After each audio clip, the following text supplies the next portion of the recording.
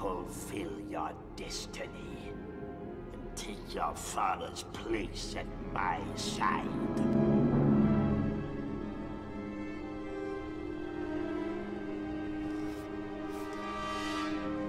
How did my father die? A young Jedi named Darth Vader. He betrayed and murdered your father. Vader was seduced by the dark side of the Force. Now the Jedi are all but extinct.